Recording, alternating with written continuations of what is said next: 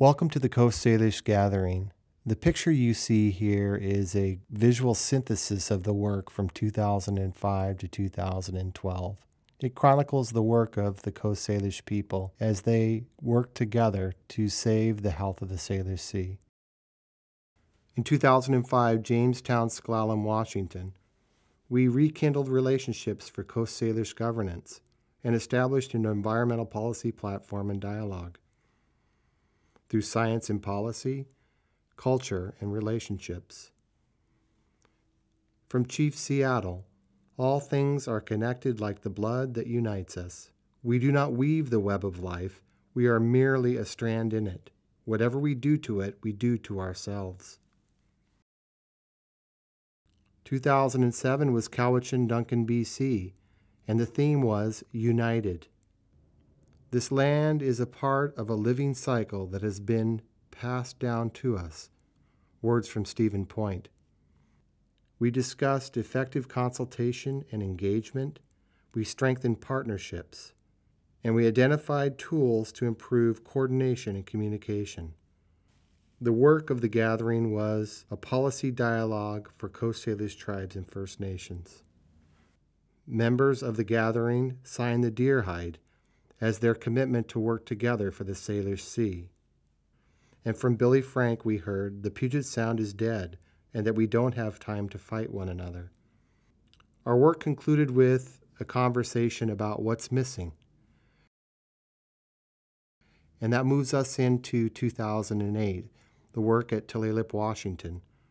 We heard from many people that participated in the event the words, I am Coast Salish.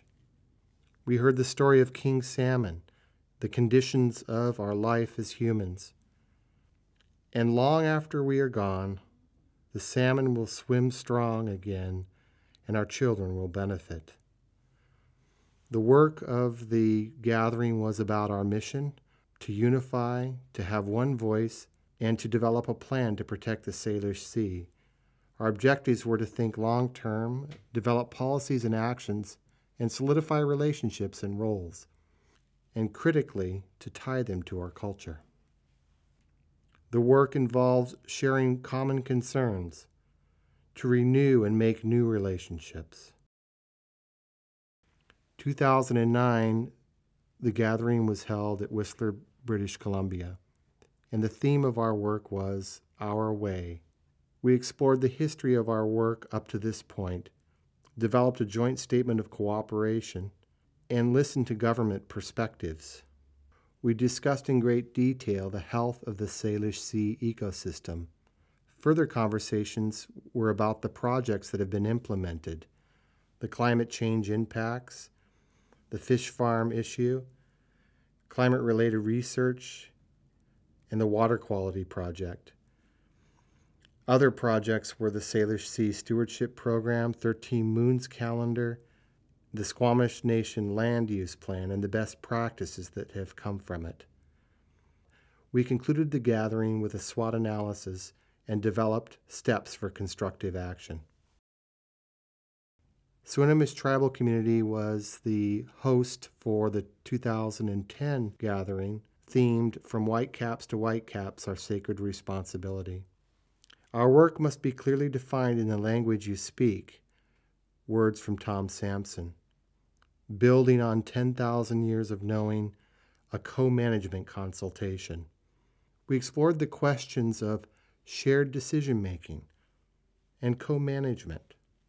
Patty Gobin from Tulalip Tribes tells us who we are as Coast Salish people is written in all our names. That we have a fiduciary responsibility for the Salish Sea and to remember who we are as Coast Salish people.